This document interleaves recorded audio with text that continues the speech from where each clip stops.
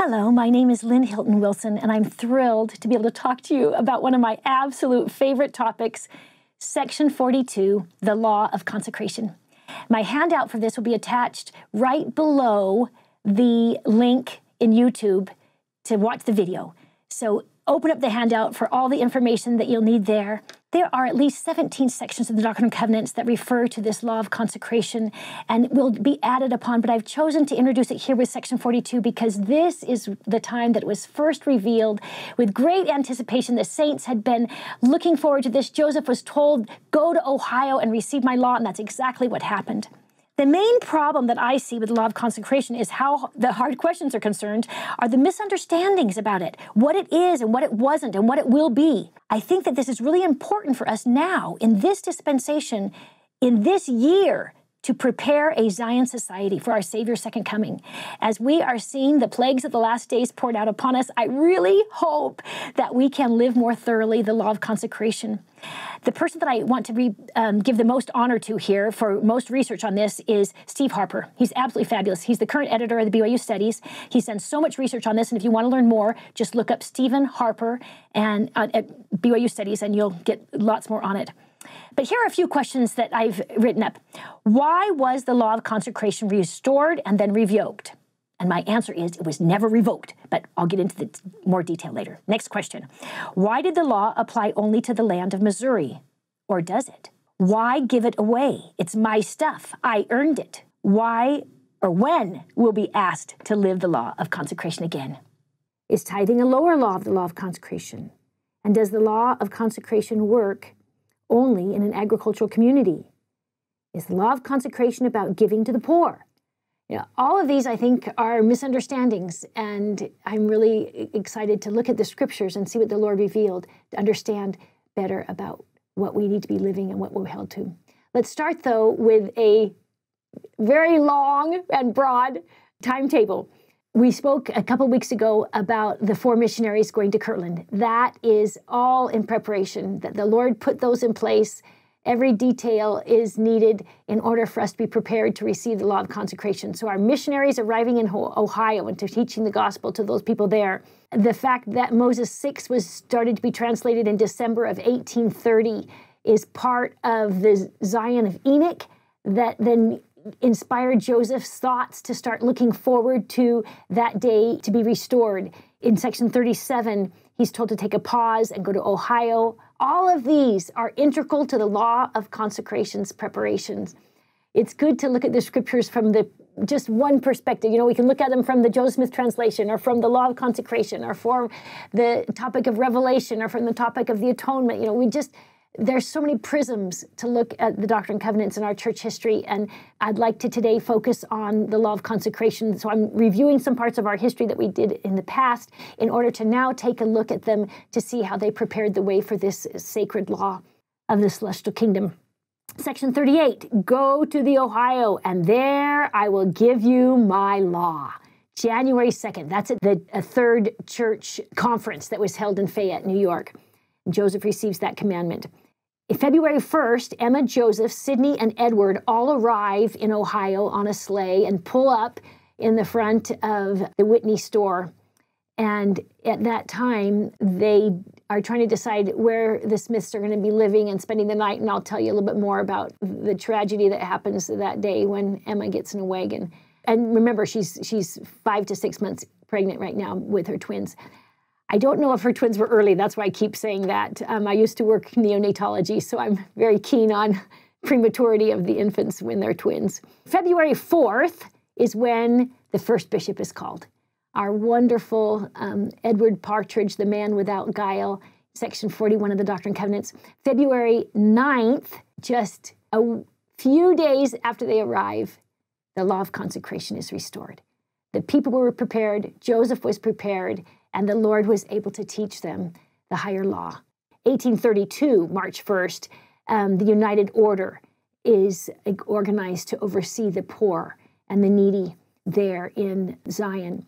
April 23rd, in 1834, Section 104 refers to the publication of the cooperation of the United Firm, which was that group of people that are going to be using all the surplus coming out of the publishing arm of the church in order to care for, to use for the land, uh, to purchase lands and for the temples, buildings. That then was reorganized later, um, just a few days later, actually. And then by 1838, July 8th, the Lord reveals section 119 that um, talks about the tithing that is all part of the law of consecration. After we have given our surplus, it's then 10% annually. And that same year, 38, in October, is when the extermination order comes. So the saints have left Ohio, down to Missouri, and now are being chased out of Missouri. By March of 1844, the year that the prophet dies, just th- three three months before his death, Joseph taught in Nauvoo that everyone is a steward over his own property, which is exactly the definition of the law of consecration that I like to keep in my heart and mind every day.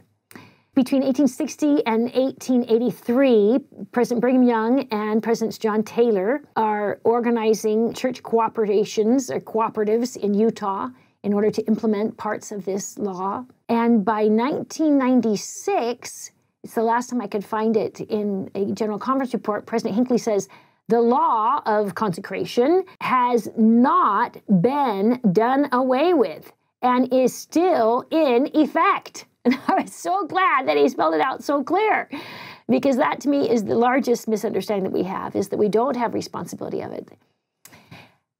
Once again, I go back to the thesis that is often attached to Joseph and the restoration that he is a product of the environment and that the thoughts he projected just came right out of the environment. But the law of consecration, as you can well imagine, had nothing to do with Jacksonian American. As the as capitalism is growing, as land is and purchasing and materialism is growing, um, the idea of anti-private ownership would just make you the laughing stock of, of an area. Now, obviously, those that were reading the Bible like those who were on the Morley farm um, under Sidney Rigdon's direction, of the family, they actually were going against American thought in order to apply the thought of the Bible. But as far as Americans are concerned, the majority of Americans did not have that thought, and certainly not in upstate New York where Joseph was living. The word consecrate means to make sacred. I just want you to let that settle to become holy, to dedicate something. Joseph receives this definition in order to better understand that our time, talents, and energy are all part of the law of consecration. It's not just a financial law. It's not just a land a law about our personal property. It's the idea of understanding our relationship to God and acknowledging Him as the giver of all of our gifts. Once again, I feel that there is miraculous timing involved, and the law of consecration is just almost like the Lord has set up these dominoes in place before that section 42 can be given, and everything is standing in order and they are ready to move ahead. Do you remember when Joseph first starts translating with Oliver that they start in Mosiah and King Benjamin's sermon is right there. And they have this first wave of information for Oliver. And Joseph, obviously, uh, the year before had been doing the translation of the 116 pages, or months before. But for Oliver, King Benjamin's sermon is the first thing that he's scribing. And the enormous theme coming out Are we not all beggars before God? Impart of your substance one to another. This has been a theme not only of King Benjamin's, but throughout the Book of Mormon and part of Joseph's um, entire prophetic life. He and Emma received goods from others repeatedly, starting with Lucy Harris, and then Martin, and then Joseph Knight, et cetera, et cetera. Actually, I should have said starting with his parents. Of course, his parents were living a law of consecration with their children to some degree. The portions that were of the Joseph Smith translation or Joseph's new um, translation that dealt with Enoch society were translated from December 1830 to February 1831. And the law of consecration was given on February 9th of 1831. Absolutely bullseye timing. You know, it could have been given any time, but the Lord is in the details and the timing is part of the miracle. It's absolutely amazing to me. And you remember what's written there in Moses 7 18? We're starting to learn about what a Zion society is. And the Lord is teaching Joseph through the example of these wonderful past prophets. I'm fascinated with how the Lord wants us to have the written record. He wants us to learn from past scriptures, He wants us to learn from the history. Here I am, verse 18.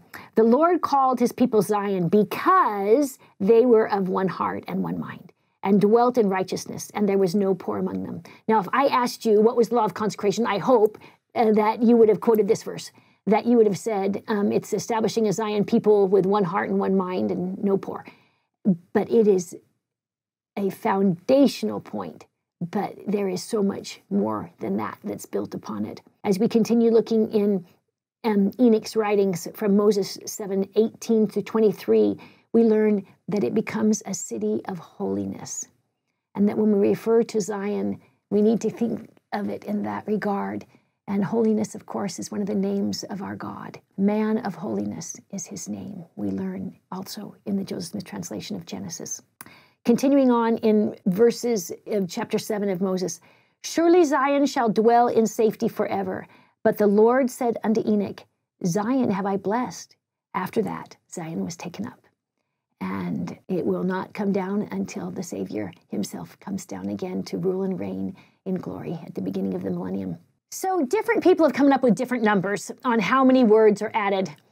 I, I think I decided to do my own math, and I had um, a statistician sit down with me, and we counted out and we built a framework. And I really think that this number is accurate. There are many words on um, Enoch, but these are the sections that are not included in the Bible. 4,656 words on Enoch that we do not have in the Bible. Three extra chapters that describe Zion. And if we're referring to the Enoch that was taken up to heaven, there are less than 100 words in the Old Testament. The missionaries' trip to Ohio was along that timeline of each one of those steps that the Lord had in place also Emma's illness. So she's uh, obviously first sick in the first trimester from her pregnancy and weakened. And then in December, she comes down with a terrible illness, and it takes her a long time to regain her strength. But as soon as she is feeling a little bit better, she and Joseph pray for the Lord's will, and Joseph receives the revelation to go to the Ohio, where I will give unto you my law. And there you will be endowed with power from on high. So, still in her weakened state, um, she and Joseph pack up their bags and leave. The idea that is mentioned in several verses, but specifically in verse 32 of section 38, is referring to my law. It doesn't say the law of consecration, my law. I'm fascinated with that we have the law of Moses as the first five books of Genesis, of Genesis Exodus, Leviticus, Numbers, Deuteronomy. Um, they're called the Torah. They're called the Pentateuch. They're called the Law. And I I have to think that Joseph equated my law with Moses' law. I mean, the, every time law is mentioned in the New Testament, it's referring to the law of Moses. Um, I shouldn't say every time. A handful of times it's not. And sometimes it's even the Roman law. but the majority of the time, the New Testament refers to the law and the Old Testament refers to the law. It's referring to those five books of Mo- that were attributed to Moses, which we know uh, were heavily edited and changed. But this is significant that there's this tie between Christ as Jehovah revealing to Moses and now our resurrected Lord revealing to Joseph this law. And Joseph is now going to stand in that place as the Lord's vehicle to receive the law. And as you recall, when Moses was on Mount Sinai, the first law that he received was not the Ten Commandments. And that was the Lord's law that the people were not able to live. They did not have the strength and the faith to enter into the presence of the Lord and learn what was required to enter into the presence of the Lord. They told Moses, You go for us. We're staying down here. So Moses goes up. They do not enter into his presence. Only Moses does. And then, of course, um, the fatted the fatted calf, the golden calf, and um, Moses breaks the Lord's tablets, and then Moses has to go and make his own tablets, and the Lord gives him the Ten Commandments. But at this time, the Lord is ready to have another people prepared.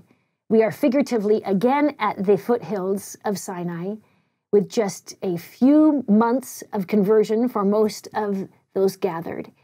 And the Lord says, actually, in Ohio, it was definitely just a couple of months of conversion. I was thinking of the upstate New York crew that had had a, a, a little bit longer of time of understanding the gospel of Jesus Christ and it's been restored.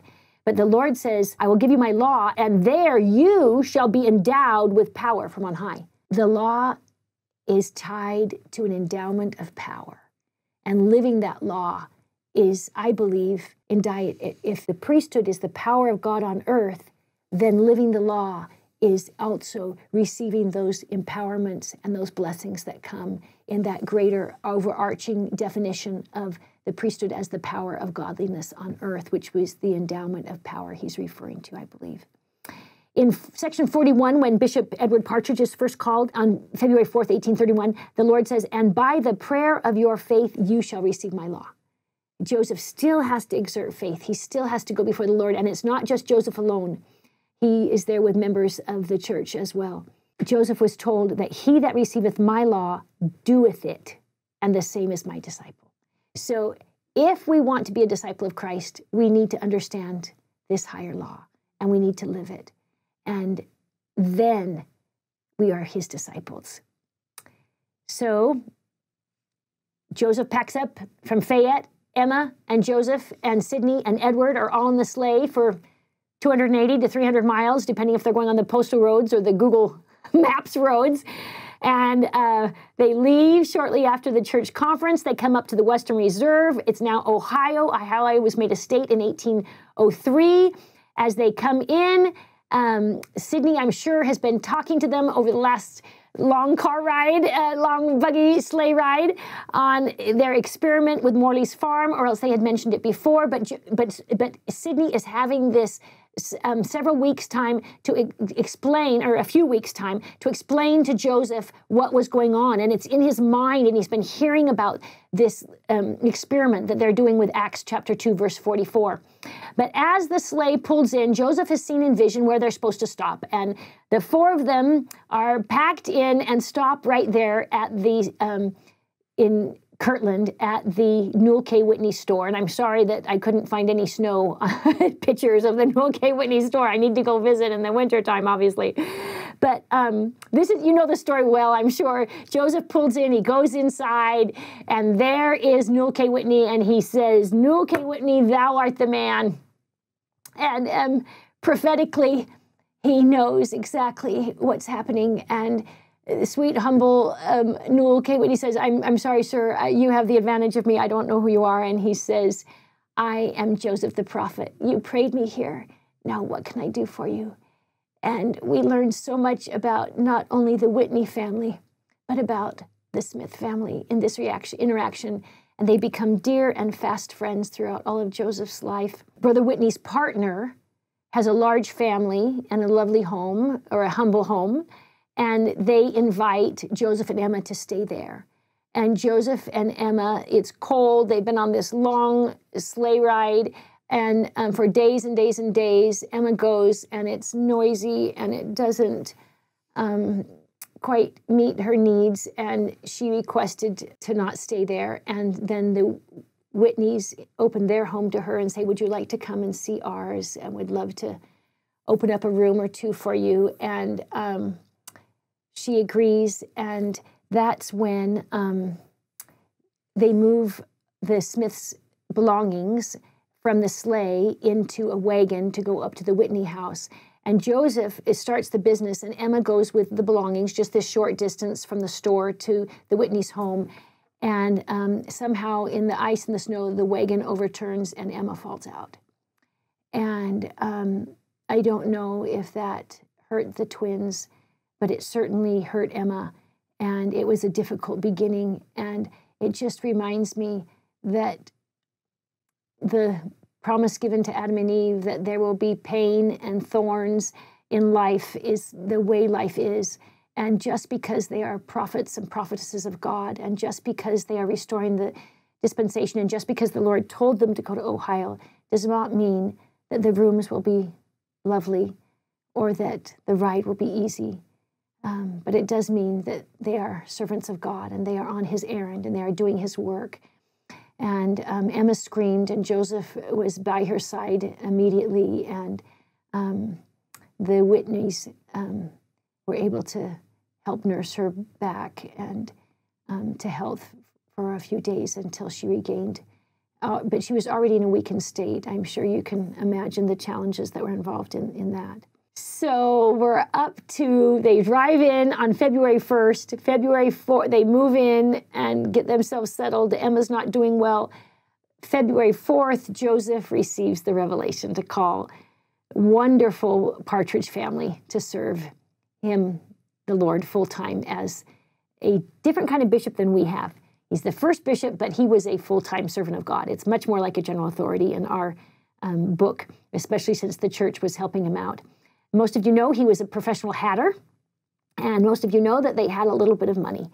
And I think it was harder for them to um, enter into a state of poverty than it was for people who were already there and living in that state. But they are um, fabulous examples as the first Latter day Saints to consecrate their all. And, and we are told in that section 41 that Edward was a, had a pure heart like unto Nathanael of old a man without guile. I love the fact that Edward was asked the question, How much is all? And Joseph was asked, How much is all? And as we look at the law of consecration, the Lord answers that. Um, but it is never the bishop's responsibility to tell how much is all. It is the individual's responsibility to choose how much they will give. It's always been volunteer, and it's always our decision to know what all means in your individual situation. Now we're up to February 9th, and Joseph is gathered in a room with nine other elders of the church. So the earliest they could have been baptized now is November, December, January, just three months and three days, I think. So very, very young converts.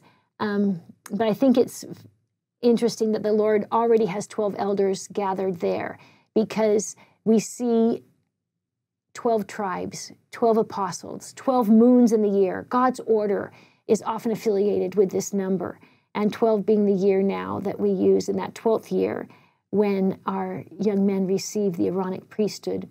That is the setting for this great revelation that came. And I assume that for most of those 12, it was the first time they had seen Joseph receive a revelation. And some of the times that people recorded what they saw when Joseph restored Revelations was that his face shone, that he often said something that alerted the people in the room to get out a pen and paper, or a quill, excuse me, to get a quill and ink ready because they needed to record what he said. And that's what happened here. We have lots of eyewitnesses of what happened, and Joseph was able to um, express this beautiful section 42 which became known as the law. I mentioned Steven Harper earlier. I love the way that he describes the law of consecration. He uses it as a three legged stool, but I feel that when I read the 17 sections on the law of consecration, that it actually requires four different aspects. That number one is we are given a stewardship. It is remember back to the parables of Jesus Christ when the the landowner is away and he has his servants um, given stewardships. And um, at one time, they used the idea, one of the parables uses the idea of the talents, which was money. He had stewardship over them. And another time, it's land that they have to use. And another time, it's it's, it's um, fruits and things that they have to grow. You know, different different parables, all about the same idea. We are given stewardships by God. I have been given a stewardship of membership of the Church of Jesus Christ of Latter Day Saints. I have been given stewardship of seven wonderful redheaded children. I have been given stewardship stewardship of my ward callings as the as the music director in primary. I have been given a stewardship to be the institute director. I, I feel like um, all of our gifts in life can fall into this category. God, what God has given us is now our responsibility to act according to His will. Um, but we have to be accountable to God. And we have the agency to either use it wisely or not. It is our choice. Agency is such an important part of the law of consecration. And then the one that I added in that I read regularly is that God esteems all equal. It's not a law for the poor. It's not a law for the rich. It's not a law uh, for any age level. It is a law for all. That it's the mentality that we are God's servants. And we have to turn the social hierarchy upside down. It is not the leaders and the underlings. It's not the um, king and the serfs. You know, it is God and everyone else. And when we realize that and have that mentality, um, then we can better live the law of consecration. Here's just a few scriptural explanations that Joseph received early in February 1831, Moses chapter 7, verse 18. The Lord called his people Zion because they were one heart, just what we read before, and there was no poor among them. They dwelt in righteousness. Section 42, right here in February 9th, 1831. Thou wilt remember the poor and consecrate of their properties for their support, and that which thou hast to impart unto them. Um, section 78, verse 8. All things be done unto my glory by you who are joined together in this order. The Lord wants us to be able to receive the highest glories, and we have got to join together in unity in order to do that.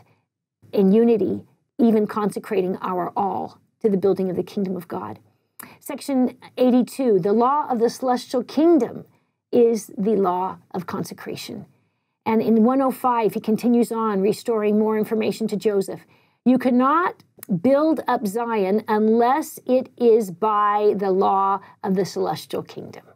Now, that is our responsibility now. We are to prepare the time for the second coming we are to make sure that the bridegroom is ready to receive her groom. And if we are not ready, if we are not living the law of consecration, we are not ready. Here are the other revelations. Uh, you've got them on our handout too, so you can read them a little more slowly. But the information is just beautiful. The way the Lord taught line upon line, precept by precept, here a little and there a little how these little organizations were formed for monetary needs and how organizations are formed for emotional needs. I look at our ministering is the heart of that is the law of consecration. We are to care and work together and serve those under our jurisdiction and learn to serve with love and go far beyond a tenth or something, but we give our all. I love this message of the storehouse of the bishop that we take our goods and we put them there. And there's so many fabulous stories in church history about the different storehouses and people bringing in their wood and their eggs and their cream and everything else as they tried to live this law in the early parts of the church when there was not a lot of financial backing but sharing of kind. They established an independent storehouse in Zion. So they're living the law of consecration to some degree, the best they can in both Kirtland and in Missouri. Actually, it wasn't the best they could. That was the problem.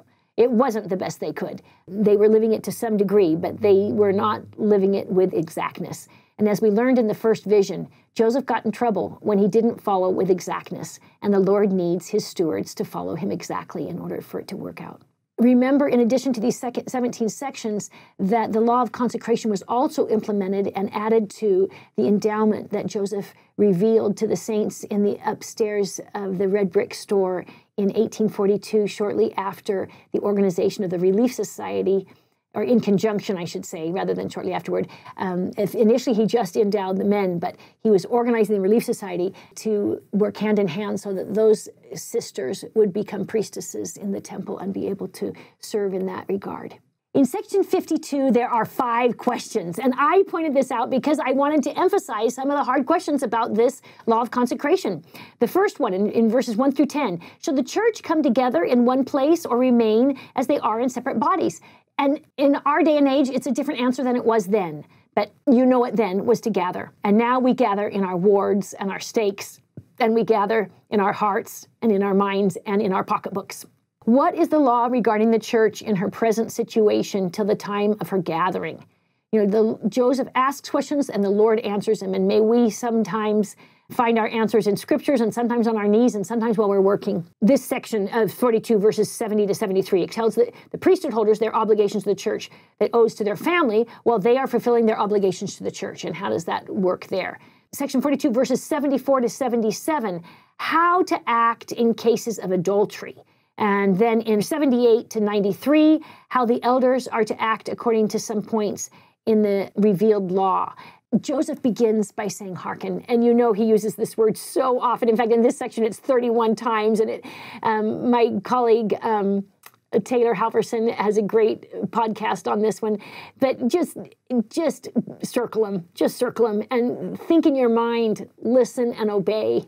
Um, you know, he starts off the Doctrine and Covenants like this as well. The Lord wants us to listen and obey in this um, section, and obviously 31 times to give us that message. Section 45 that discusses the people of Enoch. Right, you know, the Lord just flows more and more information that came out of Joseph's translation and then revelations that allowed us to implement it as we see in verses 11 through 13 of 45.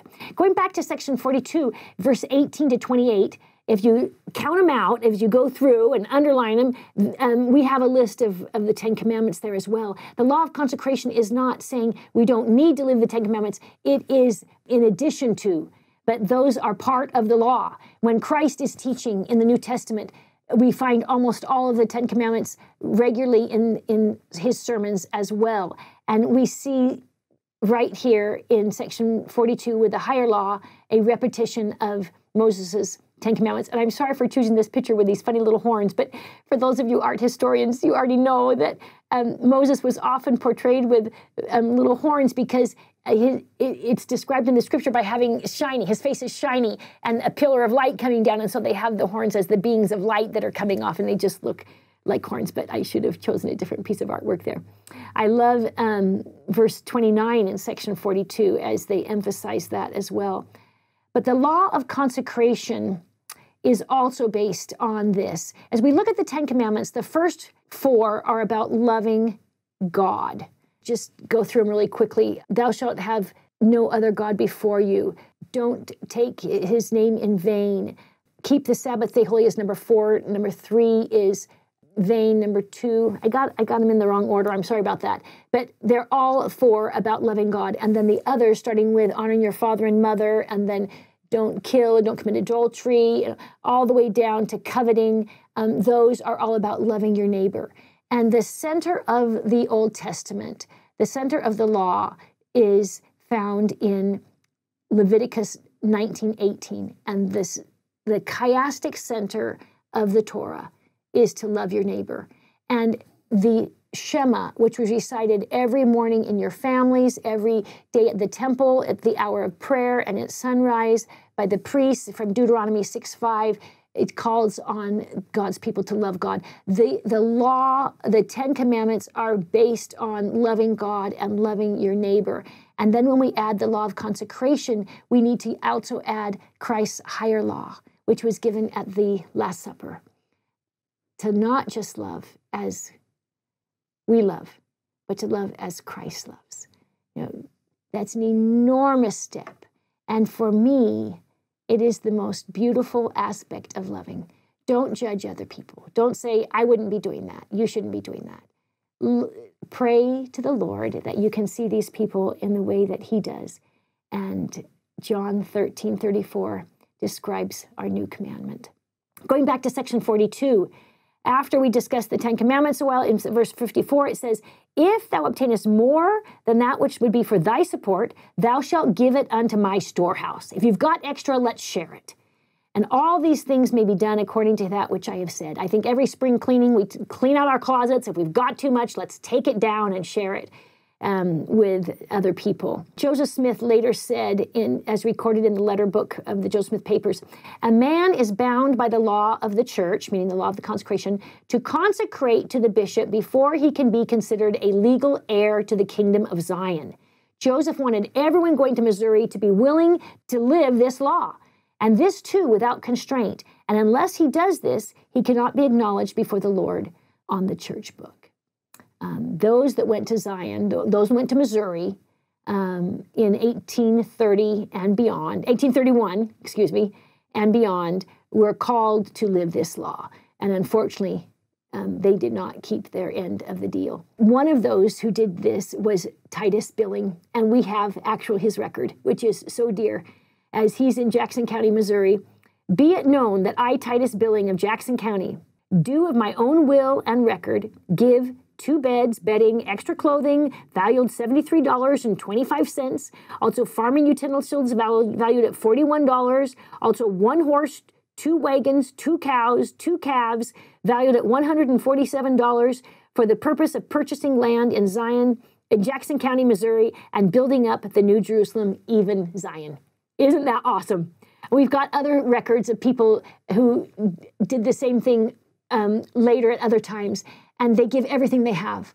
I have a wife, I have children, I have a little bit of food, I'll give it all to the kingdom. And then the bishop writes back, I give you stewardship over your wife and your children and all that you have to build the kingdom. You know, it's taking what we have, being willing to share it, and being willing to do whatever God asks us to do with our time, talents, and energy. Okay, follow that arrow, and you can probably follow along and read these words from the Joseph Smith papers. Every man must be his own judge, how much he should receive and how much he should suffer to remain in the hands of the bishop. We are to be accountable and we have our agency. Section 119 is, I referenced a little bit earlier. This is a few years later. This is when it has not been working. Joseph has had a very difficult time. And I keep reminding myself, Enoch had three over 300 year, 350 years to get his people prepared before they were translated. And poor Joseph is dealing with brand new converts who have the mentality of an American Jacksonian materialistic view of land and property.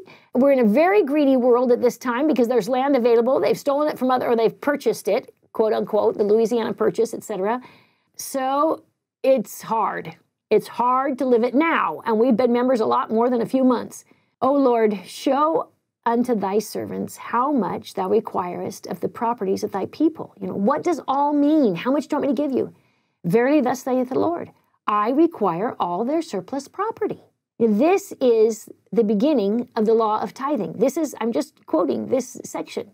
Um, we misread it if we think it's, it's just a penny for every dime. The Lord asks us to give our alls. And when that went awry, in the case of W.W. Phelps, Joseph gave him a gentle reminder. Quote, You say, my press, my type. Where, our brethren asked, did you get them? And how came they to be yours? No hardness, but caution.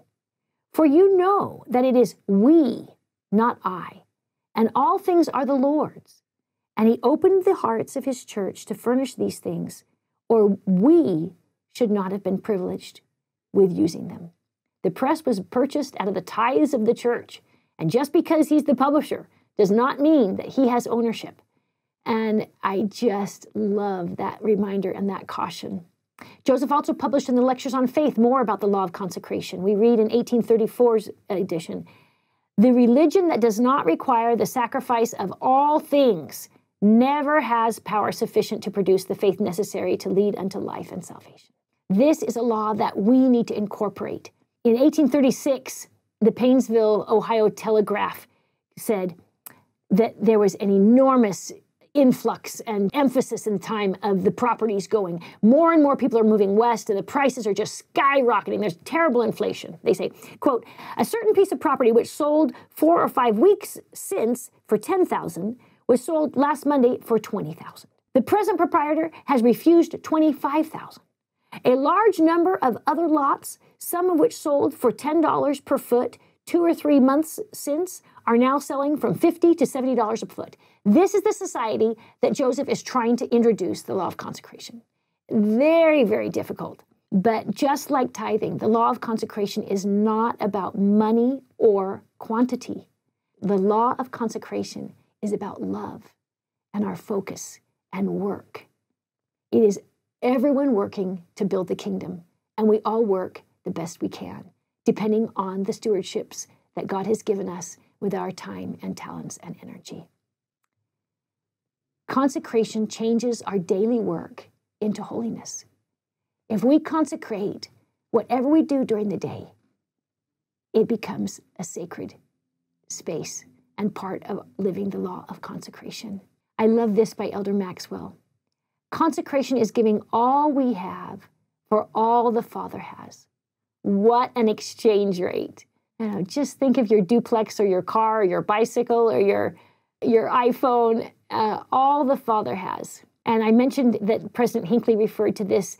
I could have included President Romney, who spoke on it often, and other general authorities who have mentioned the law of consecration throughout the history of the church, which you're free to look up as well. But this one from 1996 states the law of sacrifice and the law of consecration have not been done away with and are still in effect. The, the prophet did not want us to have these misunderstandings that this was done away with. A few years ago, I think it was 2017, my son was working at Google, and Elder Anderson and Elder Bednar came to visit the uh, Google and Facebook, actually, both at two different visits. They two different groups came, and they wanted to learn what they could do to apply in the church. And they met with the employees of the of the church that worked at Google at that time, where my son did. And President Elder Bednar told them, "You may receive your paycheck from Google, but never forget that you work for the Lord." I believe with all my heart that the Lord is my boss. And as we look at the law of consecration, let us remember who is our God and whom we serve, and who gives us the breath of life, let alone a roof over our head and a little porridge.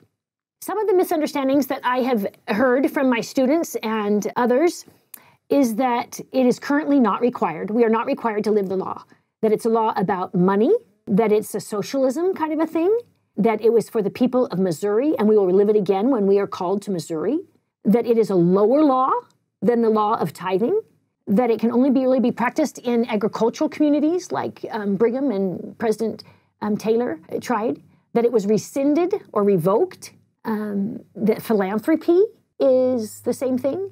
All of these are wrong. Not one of these are right. Now, yes, the poor do receive things, and yes, it was used in Missouri, and yes, there are other communal lifestyles. Um, but just because you earned it does not mean it's yours. Who taught you to work? And who gave you arms and legs and a mind to do your jobs? Consecration is not these things. Philanthropy is good, work is good, giving to the poor is good. But the law of consecration is building the kingdom of God with what God has given us. It is doing God's bidding. It is honoring God as our Father and His Son as our Redeemer. And it's doing their work on their time schedule. And I believe as we strive to live this more and more every day of our lives, that there will be many, many, many more challenges ahead. But Christ cannot come until his people, the bride, is ready. And living the law of consecration is absolutely required. I love the law of consecration. And I love section 42. And I hope as you read it, you will feel the Spirit of the Lord. In the name of Jesus Christ, amen.